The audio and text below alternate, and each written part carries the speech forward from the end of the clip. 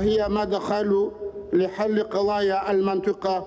وتجسيد حق الشعب الفلسطيني في الحياة وتحقيق طلعاته المشروعة في إقامة دولته المستقلة ذات السيادة وعاصمتها القدس الشرقية طبقا للشرعية الدولية والمبادرة العربية للسلام